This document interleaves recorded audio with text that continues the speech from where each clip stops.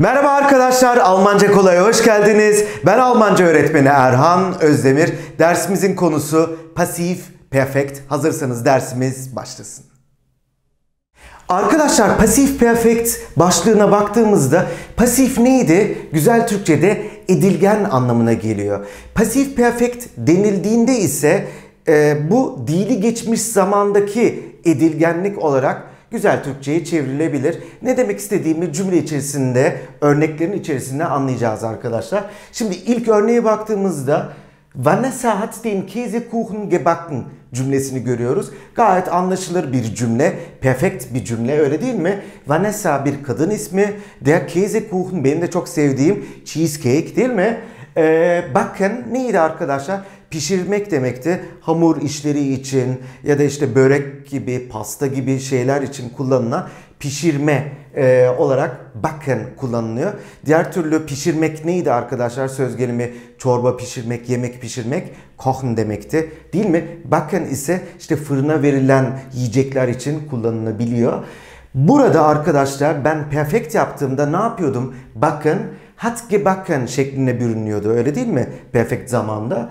Dolayısıyla şimdi biz bu cümleyi arkadaşlar e, edilgenliğe yorumladığımızda diyeceğiz ki cheesecake Vanessa tarafından pişirildi dediğimizde ne diyeceğiz? Gelin onu bir görelim. Öncelikle arkadaşlar burada den Käsekuchen yapısı der Käsekuchen olarak cümle başına taşınıyor.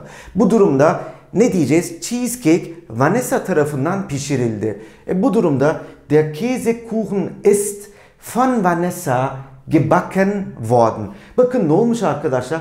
Oradaki gebacken yapısı gene gebacken olarak aşağı taşınıyor ve yardımcı fiil worden ve ne geliyor arkadaşlar? Ist gebacken worden formuna bürünüyor. Dolayısıyla bu işaretlemiş olduğum bu maviyle işaretlemiş olduğum yapı ne olmuş oluyor arkadaşlar? Pasif perfect yapısı oluyor.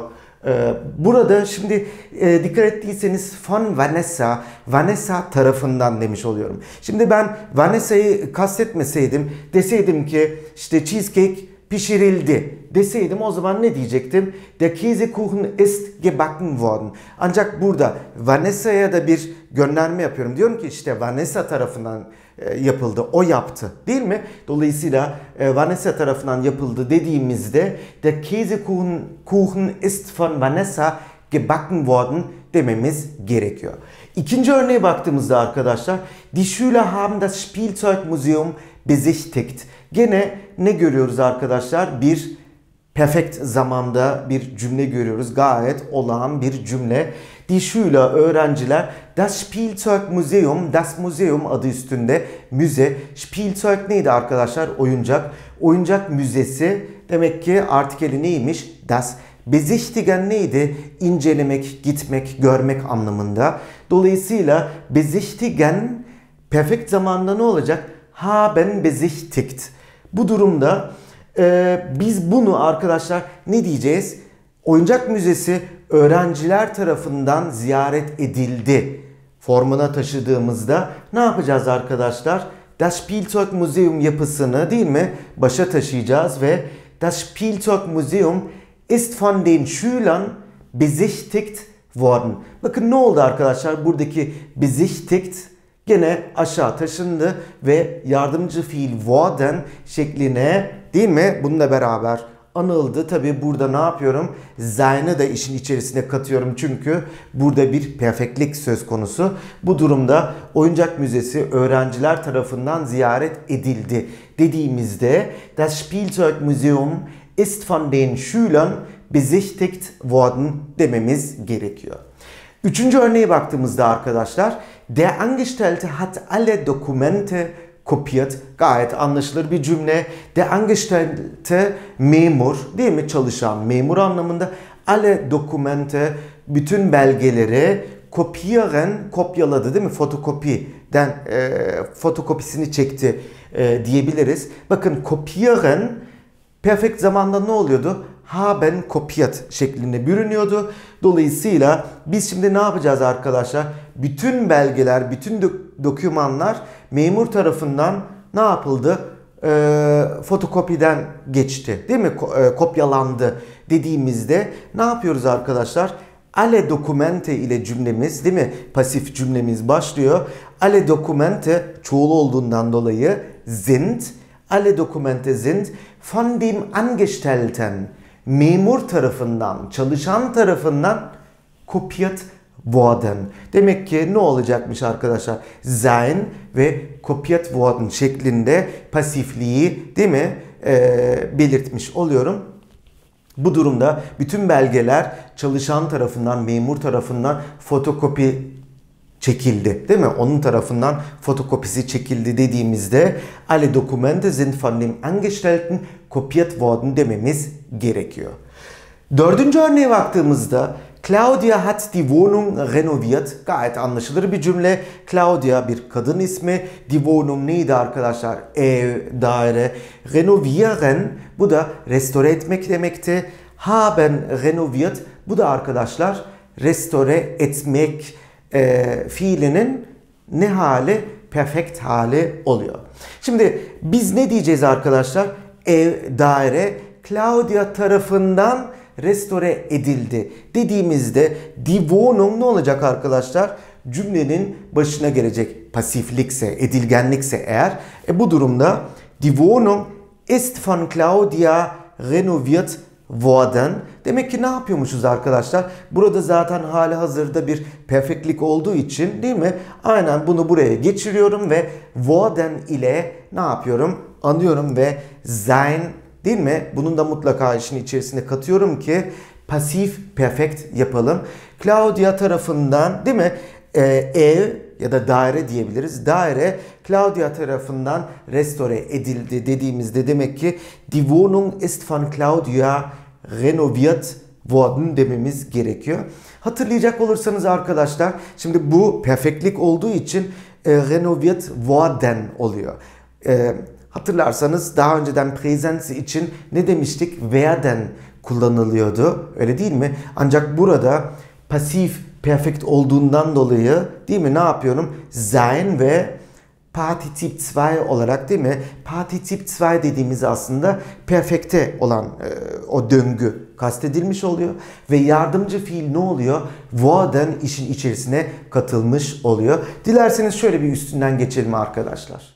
Şimdi birinci örneğe tekrar baktığımızda arkadaşlar Vanessa hat den Käsekuchen gebacken cümlesinde haben ve gebacken demek ki perfect yapı değil mi? Neymiş demek ki? Pişirmek demekmiş. Der Käsekuchen da cheesecake anlamına geliyor. Demek ki burada ne yapacağız arkadaşlar? Den Käsekuchen yapısını cümlenin başına taşıdığımızda yani pasif perfect yaptığımızda bunu akusatiften kurtaracağız. Dolayısıyla yalın hale taşıdığımızda der Käsekuchen ist von Vanessa gebacken worden dediğimizde gebacken ne olacak? Yanına worden yardımcı fiilini alırken ist değil mi? Ne yapıyoruz? O perfektliği de hissetmemiz gerekiyor. E, dolayısıyla ist gebacken worden ile ne yapıyoruz? Bu pasifliği, bu pasif perfektliği vermiş oluyoruz. Bu durumda der Käsekuchen ist von Vanessa gebacken worden demiş oluyoruz. İkinci örneğe baktığımızda ise Die Schüler haben das Spielzeugmuseum besichtigt. Öğrenciler oyuncak müzesini ne yaptılar? Ziyaret ettiler demiş oluyoruz. Besichtigen hatırlayacak olursak neydi arkadaşlar? İncelemek, bakmak, ziyaret etmek anlamlarına geliyor. Ee, şimdi biz burada asıl olan şey nedir arkadaşlar? Das Spielzeugmuseum. E, dolayısıyla biz ne yapacağız? Bunu cümlenin başına taşımamız gerekiyor.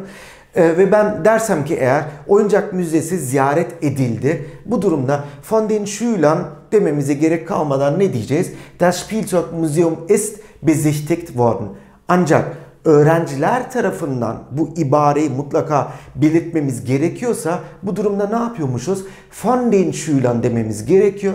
Bu durumda das Spielzeugmuseum ist von den Schülern besichtigt worden dememiz gerekiyor.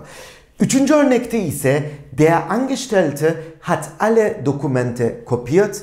Hat kopiert değil mi? Gayet bariz bir perfektlik burada hissediliyor. Ben burada ne yapacağım arkadaşlar?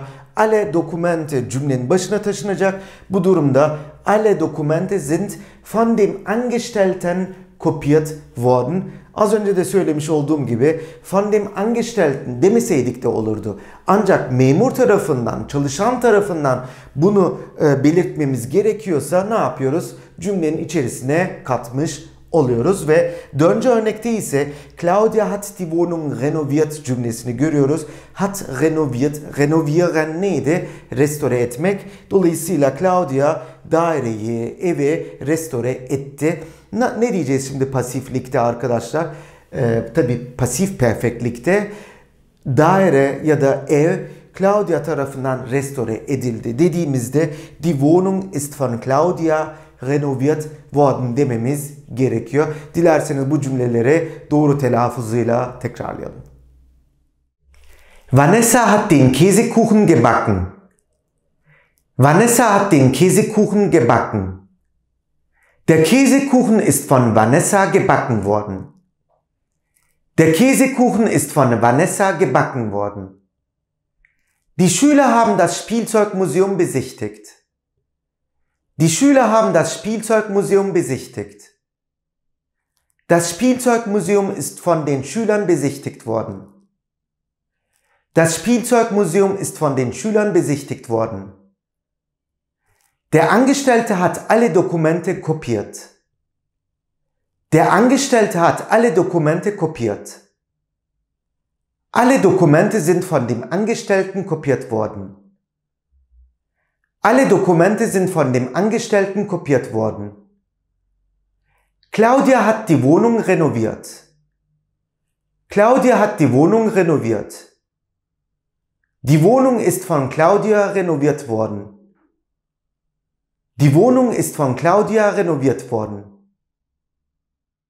Sıradaki örneğimize devam edelim arkadaşlar.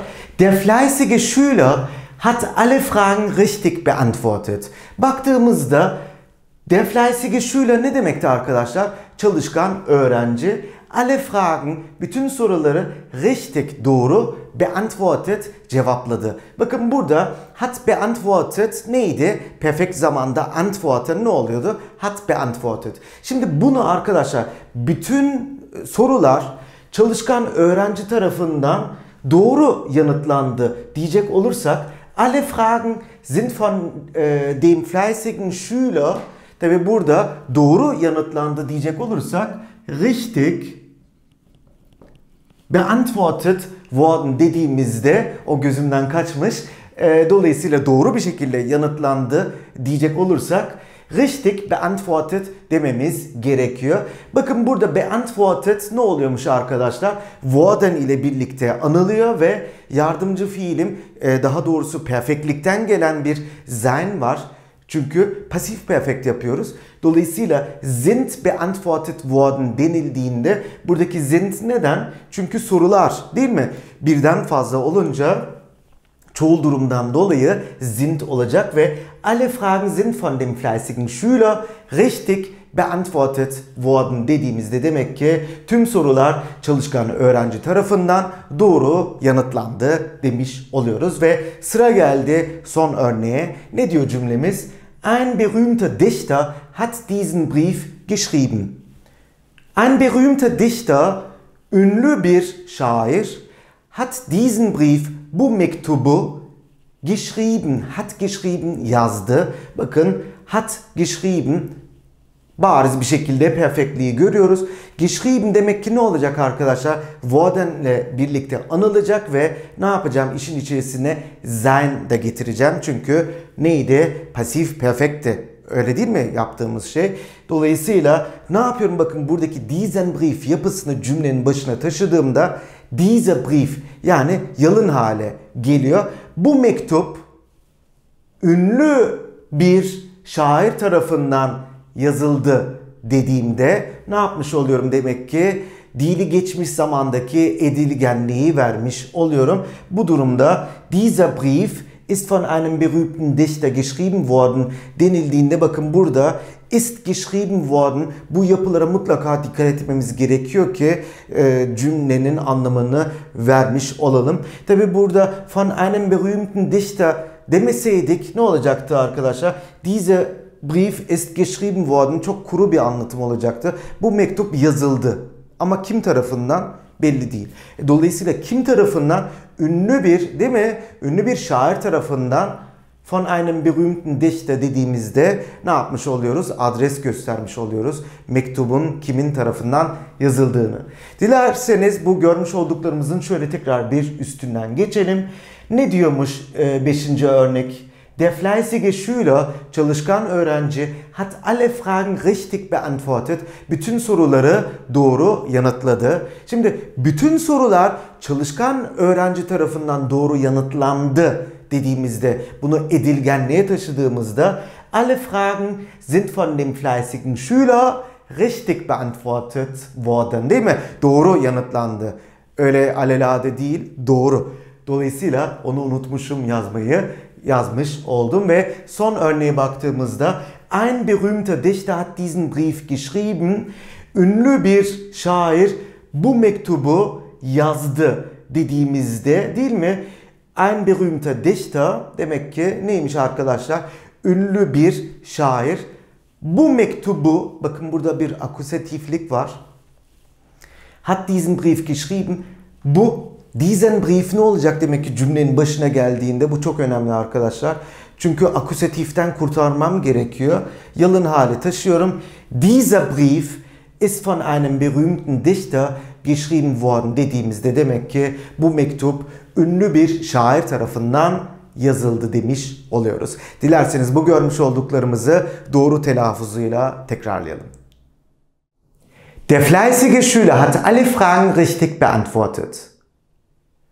Der fleißige Schüler hat alle Fragen richtig beantwortet. Alle Fragen sind von dem fleißigen Schüler richtig beantwortet worden. Alle Fragen sind von dem fleißigen Schüler richtig beantwortet worden. Ein berühmter Dichter hat diesen Brief geschrieben. Ein berühmter Dichter hat diesen Brief geschrieben. Dieser Brief ist von einem berühmten Dichter geschrieben worden. Dieser Brief ist von einem berühmten Dichter geschrieben worden. Bir dersimizin daha sonuna geldik arkadaşlar. Bu dersimizde pasif perfect konusunu görmüş olduk. Sonraki dersimizde görüşmek üzere diyorum. Hoşçakalın. Tschüss.